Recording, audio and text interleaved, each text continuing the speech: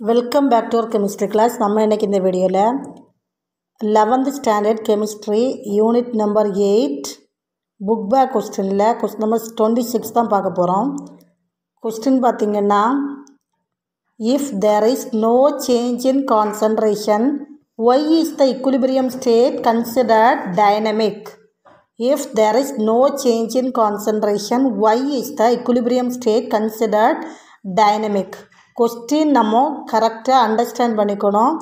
If there is no change in concentration கான்சன்ட்ரேஷனில் எந்த சேஞ்சும் இல்லாமல் இருந் இருக்கும்போதும் ஏன் இக்குலிபிரியம் ஸ்டேட் வந்து கன்சிடர்ட் டைனமிக் கான்சன்ட்ரேஷனில் நம்ம எந்த சேஞ்சும் கொடுக்காம இருந்தாலும் அந்த சமநிலை வந்து டைனமிக்காக இருக்குது டைனமிக்னா மீனிங் என்னது? சமநிலை வந்து மாறுது.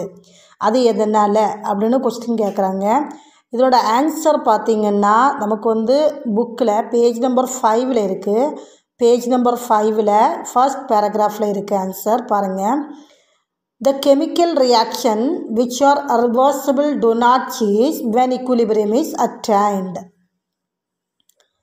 Chemical reaction which are reversible do not cease when equilibrium is attained. Equilibrium attain பண்ணும் போது கெமிக்கல் ரியாக்ஷன் வந்து எப்படி இருக்கும்? டு நாட் சீஸ் அதாவது ரிவர்சிபிள் ரியாக்ஷன் வந்து chemical reaction that is reversible reaction அது வந்து மாறாது நிறு நிறுத்த முடியாது. Do not ceaseன்னா நிறுத்தாது.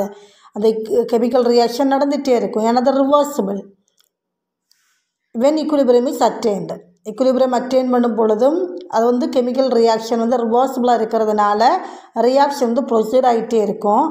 ஆனால் அட் இக்குலிபிரியம் இது இக்குலிபிரியம் ஸ்டேட்டில் வரும்போது forward and backward reactions are proceeding at the same rate இக்குலிபிரியத்தில் வரும் பொழுது ஃபார்வேர்ட் அண்டு பேக்வேர்ட் ரியாக்ஷன் வந்து சேம் ரேட்டில் நடக்கும். And no macroscopic changes observed இதில் வந்து பெரிய அளவு சேஞ்ச் வந்து இருக்காது ஸோ கெமிக்கல் இக்குலிபிரியம் இஸ் என்ன ஸ்டேட் ஆஃப் டைனமிக் இக்குலிபிரியம் அதனால தான் நம்ம வந்து கெமிக்கல் இக்குலிபிரியத்தை என்ன சொல்கிறோன்னா டைனமிக் இக்குலிபிரியம் சொல்கிறோம் டைனமிக் மீனிங் என்னது?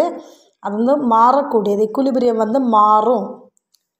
ரிவர்சபிள் ரியாக்ஷன் இருக்கிறதுனால இக்குலிபிரியம் வந்து மாறும். மாறும் பொழுதும். ரேட் வந்து எந்த சேஞ்சும் இருக்காது. ரேட் வந்து சேமாக இருக்கும். ஃபார்வேர்ட் ரியாக்ஷன்லேயும் பேக்வேர்ட் ரியாக்ஷன்லேயும் இந்த ரியாக்ஷனோட ரேட் எப்படி இருக்கும்னா சேமாக இருக்கும். இதான் வந்து இதனுடைய ஆன்சர் தேங்க்யூ ஃபார் வாட்சிங்